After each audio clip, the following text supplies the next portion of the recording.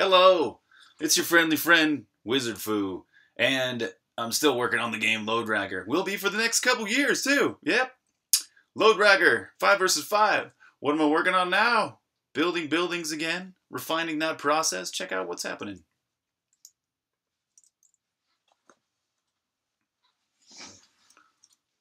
There's been a lot of improvements made to building buildings. So, move the character, I pick up the hammer, I become a builder and uh, the way it works is I press and hold the, the hammer button to start building. And I can then use the direction keys to choose which building I want to build. Let's say I want to build uh, the knights or the, the archer's layer. That's a pretty cool one. Then I press the A button to confirm. I can also hold down, I start get this thing. If I want to cancel, I can press the B button and that cancels. Uh, if I try and create something on top of uh, something else, it's red, showing me that even if I press the A button, it doesn't work. So there's that. We can now build buildings with uh, without them being on top of other stuff and select which building to build. And though basically building stuff is kind of how I imagine now. And I'm not sure if, uh, oh yeah, the archer role has been around. But the archer role, oh, I forgot. I killed all the creeps. But anyways, there you go. That's all there is to it. Uh, building buildings is now more refined. So let's check out the code and see what that looks like. Uh, basically, it's mostly in the input system uh, because, of course, this is you know using the player's input, the A, B buttons, and uh, using the hammer button and all that to create the building. So using the hammer, all it does is it waits for a certain elapsed duration to happen before it sets the input flags input building. So if an input component has the flag input building, that kind of changes a lot of things.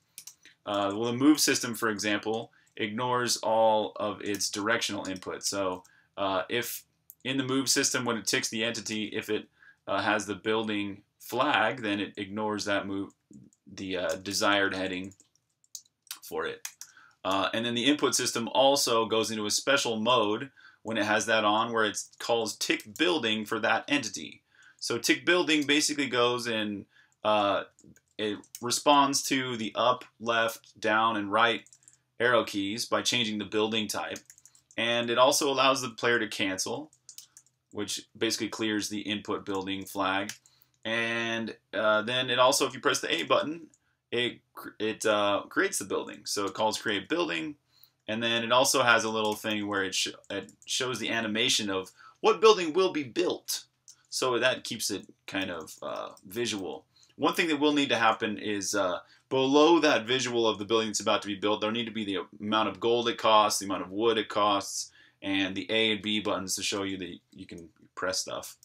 Um, here's what create building is. It's basically uh, gets the current building pause, checks if it's available at that position, and its file name, gold cost, wood cost, and all that and then um, decrements the player's gold and wood and creates the entity. So that's it. Um, the building process is now a bit more refined, and this is going to enable me to, this week my goal is to um, make it so you can actually play an entire match of Loderagger. So basically you can go all the way across to the enemy team's base, steal their lodestone, drag it back to your base. Things that will be required to do that I'll need to be able to build bridges. So that's why I was working on these buildings here. So bridges, um, we'll need to have creeps in place so that uh, creeps giving you experience so that you can upgrade your rollless role to uh, to to the uh, archragger so you can drag the lodestone. And that's it.